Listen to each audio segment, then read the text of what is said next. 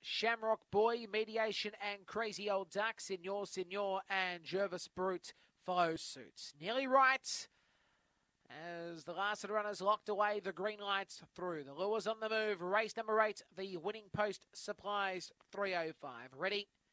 And away. Jervis Brute began nicely. Senor, Senor showing great speed alongside Crazy Old Duck and Run Fast Ones. He moves up the third before it got checked, and Jervis Brute went before it.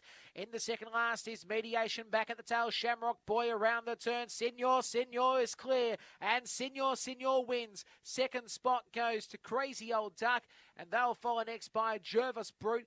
Then came uh, Run Fast Onesie alongside Mediation and uh, Shamrock Boy and the race time will be 17 and 4.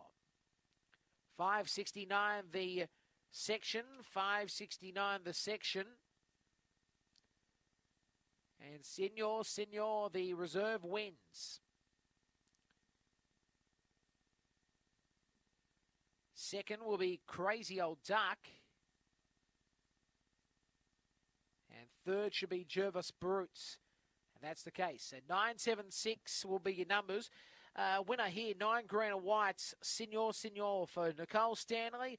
A black dog from El Gran Senor out of Photon Jewel. Second spot going to seven black in Crazy Old Duck for Gary Marshman. A white and blue girl from Fernando Bale out of Marcus Glory. Third spot, six green Jervis Brute for Tim Richards, a black dog from Fabregas out of Spicy Pepper.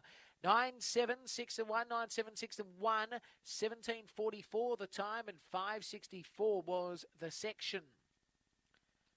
Uh, rather, 569, 569, not 64, 69. Just getting that reconfirmed. Good win.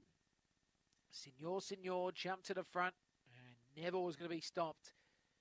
The reserve gets the prize. The reserve does it nicely.